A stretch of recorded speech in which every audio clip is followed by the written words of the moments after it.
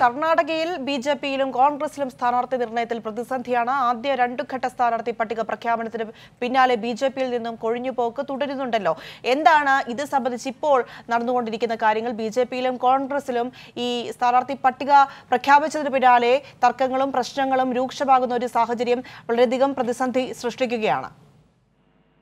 പ്രിയ തീർച്ചയായും. അതായത് കർണാടക തെരഞ്ഞെടുപ്പ് അടുത്തിരിക്കെ ഇപ്പോൾ വലിയ പ്രതിസന്ധിയിലൂടെയാണ് ബി ജെ പിയും ഒപ്പം കോൺഗ്രസും കടന്നു പോകുന്നത് നമുക്ക് പറയാം. പ്രധാനമായിട്ടും ബി ജെ പിയിലാണ് ഇപ്പോൾ പ്രതിസന്ധി രൂക്ഷമായിരിക്കുന്നത്. അതായത് രണ്ട് ആദ്യ രണ്ട് ഘട്ട സ്ഥാനാർത്ഥി പട്ടിക പ്രഖ്യാപിച്ചെങ്കിലും പ്രതിസന്ധിയും അതുപോലെ തന്നെ ഈ തർക്കവും പാർട്ടിക്കുള്ളിൽ രൂക്ഷമാണ്. കാരണം ഈ ഈ ആദ്യഘട്ടത്തിൽ നൂറ്റി എൺപത്തി ഒൻപത് സ്ഥാനാർത്ഥികളെ പ്രഖ്യാപിച്ചു. പിന്നാലെ ഇരുപത്തിമൂന്ന് സ്ഥാനാർത്ഥികളെ പ്രഖ്യാപിച്ചിരുന്നു. ഇതിൽ പതിനാല് സിറ്റിംഗ് എം എൽ എമാർക്കാണ് സീറ്റ് നഷ്ടമായത്. അതിനാൽ തന്നെ ഈ സീറ്റ് നഷ്ടപ്പെട്ട നേതാക്കളും അവരുടെ പ്രവർത്തകരുമാണ് ഏറ്റവും അധികം പ്രതിഷേധവുമായിട്ട് രംഗത്തെത്തിയിരിക്കുന്നത്. പ്രധാനമായിട്ടും നേരത്തെ തന്നെ ജഗദീഷ് ഷെട്ടാർ അതുപോലെ തന്നെ കെ എസ് ഈശ്വരപ്പ എന്നിവർ ഈ പാർട്ടി വിടുകയാണ് എന്നുള്ള കാര്യങ്ങളൊക്കെ പ്രഖ്യാപിച്ചിരുന്നു. ജഗദീഷ് ഷെട്ടാർ സ്വതന്ത്രനായി മത്സരിക്കുമെന്ന തരത്തിലുള്ള കാര്യങ്ങളും ഒക്കെ പ്രഖ്യാപിച്ചിരുന്നു. അതിന് പിന്നാലെയാണ് ആറ് തവണ എം എൽ എയും അതുപോലെ തന്നെ മുൻ മന്ത്രിയുമായ അങ്കാരിയും പാർട്ടിക്കെതിരെ രംഗത്ത് വരികയും അതുപോലെ തന്നെ ഹവേരി മണ്ഡലത്തിലെ M L A sitting M L A ആയിരുന്ന നെഹ്റു ഓലേക്കർ അതുപോലെ തന്നെ M P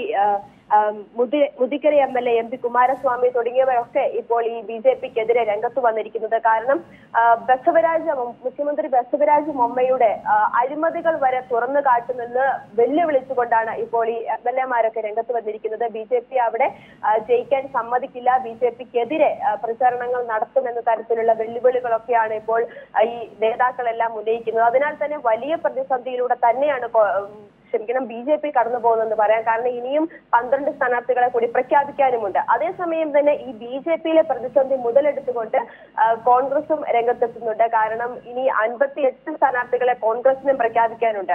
അതിനാൽ തന്നെ ഈ ബി ജെ പിയുടെ പ്രതിസന്ധി അല്ലെങ്കിൽ ബി ജെ പിയിൽ നിന്ന് കൊഴിഞ്ഞു പോകുന്ന നേതാക്കന്മാരുമായിട്ടൊക്കെ അനുനയ ചർച്ചകളൊക്കെ നടത്തി അവരെ കോൺഗ്രസിലേക്ക് കൊണ്ടുവരാനുള്ള ഒരു ശ്രമമൊക്കെ കോൺഗ്രസ് നടത്തുന്നുണ്ട്. എന്തായാലും കോൺഗ്രസിലും തർക്കങ്ങൾക്ക് ആയതില്ല കാരണം സിദ്ധരാമയും ഡി കെ ശിവകുമാറും തമ്മിലുള്ള അഭിപ്രായ ഭിന്നതയൊക്കെ തലവേദനയായിട്ട് തന്നെ തുടരുകയാണ്.